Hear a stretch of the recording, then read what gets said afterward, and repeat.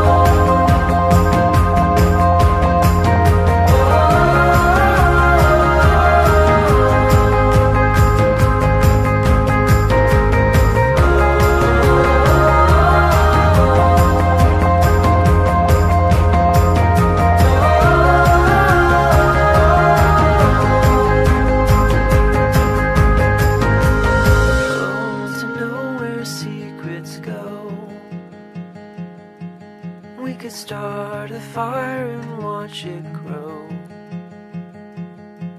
We could bury our shoes and wait for rain till the summer takes us home.